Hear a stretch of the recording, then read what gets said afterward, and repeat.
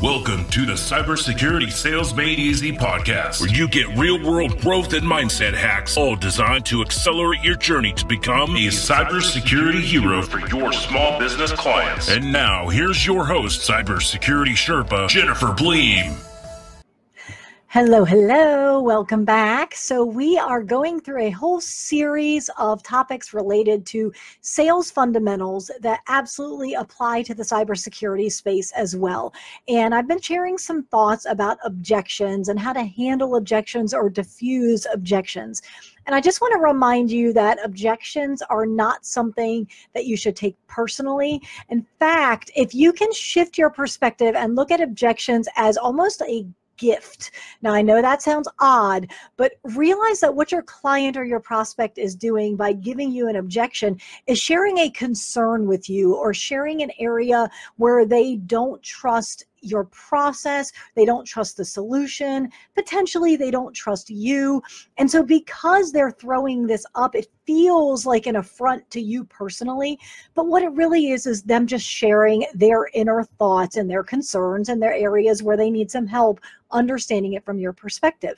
So if you see it that way as a gift, thank you for sharing with me. How can I help? Let me help you see this from my perspective that will help you shift the way that you handle an objection. Because instead of you trying to overcome it and uh, start to argue with them, instead you are going to seek to understand. So remember that. Seek to understand where your client or prospect is coming from when they give you an objection.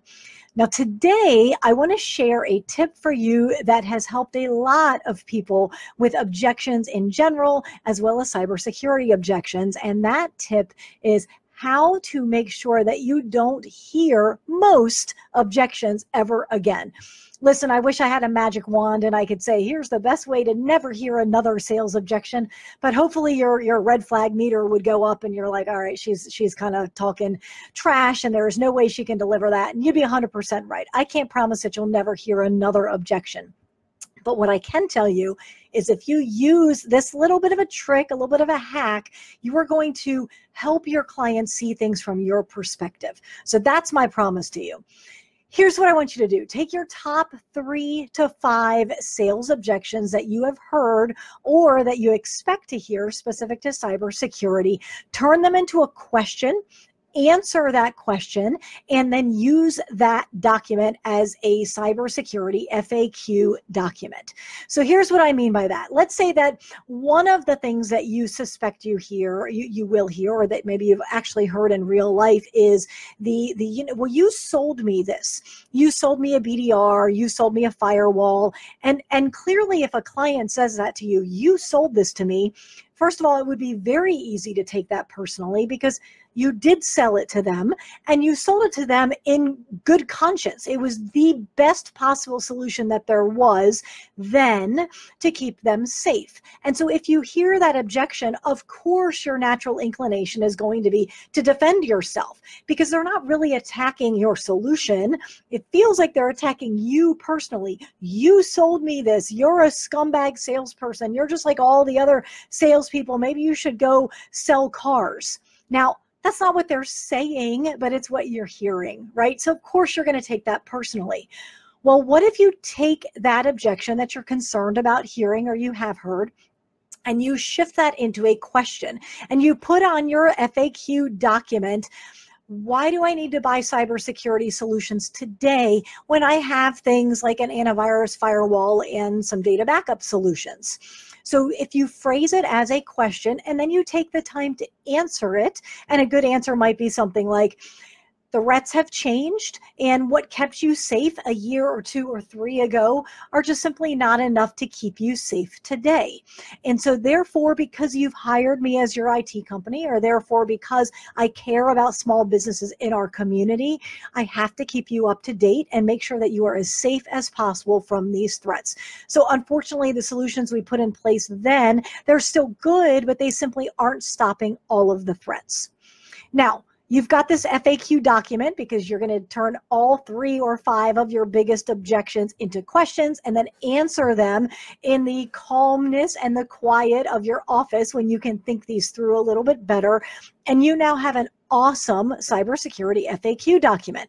Now, how do you use this cybersecurity FAQ document? I'm going to give you four ideas. There's probably four more that I'm not going to come up with today, but the first is to offer this as a lead gen magnet on your website. Okay, so that is already going to position you as a cybersecurity expert. Four big questions everybody has before investing in cybersecurity solutions as a small business owner. Or you could probably tweak that title a little bit, but you get the idea. Another idea is that when you know that you're going out to a client that you're going to upsell or attempt to upsell on cybersecurity, or you're going out to a prospect, send this ahead of time inside of your pre-sales material. You probably have some type of an introductory package or confirmation letter. Maybe you have a shock and awe box. Include this inside of that package. Again, position yourself as a difference maker and as a thought leader. So that's idea number two. Number one, lead magnet. Number two, sales, pre-sales activity.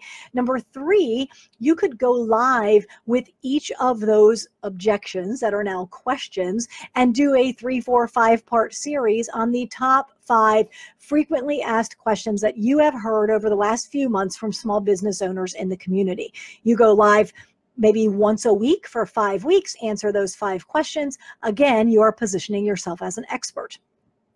Last idea is to take those same five Q&A and structure those into either a blog post or, or series of blog posts or a small article or a big article inside of your newsletter. And so, and you could also certainly turn it into an email drip sequence. You can turn it into, I mean, there's a million different ways you could do it. You could turn it into an image, each question into an image, use those on social media, perhaps bake them into a cybersecurity sales presentation or a lunch and learn type of presentation. So once you have these these objections turned into questions and you now have the question and answers scripted, that is some marketing gold. So that is my tip for you today is if you hear the objections, try not to take them personally. But after you've heard the same objection two or three times, you're going to realize these are the questions my clients and prospects have. Let me answer them in advance so that we are not potentially at odds during the sales call itself. So take that, run with it, implement this week, make that happen. And for now, I'm Jennifer Bleam, Cybersecurity Sherpa, signing off. To learn more about how you can become a cybersecurity hero for your clients, request your hero assessment today. MSPsalesrevolution.com forward slash hero.